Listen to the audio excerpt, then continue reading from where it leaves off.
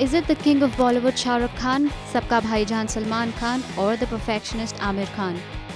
None of them topped as the most searched personality, but it was the Indo Canadian adult star turned Bollywood actor Sunny Leone.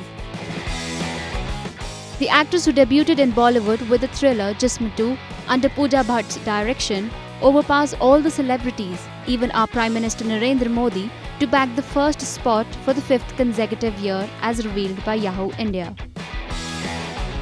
Actor Salman Khan continued to be on the top as most searched male celebrity, followed by stand-up comedian come actor Kapil Sharma. Grabbing the third position was Big B Amitabh Bachchan, accompanied by Shah Rukh Khan on the fourth and thereafter Aamir Khan. On acting front, we will be seeing Sunny Leone in the musical romantic film Tera Intezaar, releasing next year.